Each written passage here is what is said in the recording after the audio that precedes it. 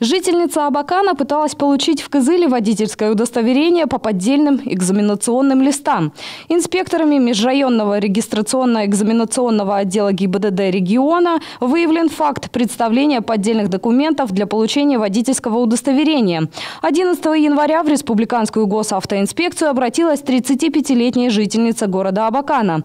Женщина предоставила инспекторам ДПС экзаменационные листы проведения теоретического экзамена и по первоначальному первоначальным навыкам управления транспортным средством в условиях дорожного движения. В документах указано, что практическая часть экзамена была успешно сдана кандидатом в Кызыле 27 декабря прошлого года.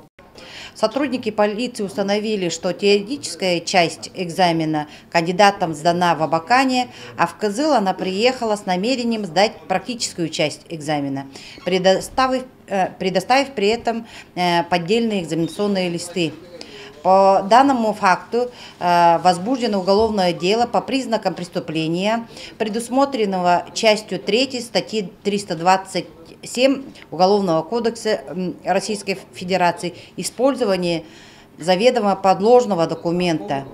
Санкция данной статьи предусматривает наказание в виде штрафа в размере до 80 тысяч рублей или в размере заработной платы или иного дохода, осужденного за период до 6 месяцев, либо арестом э, на срок до 6 месяцев.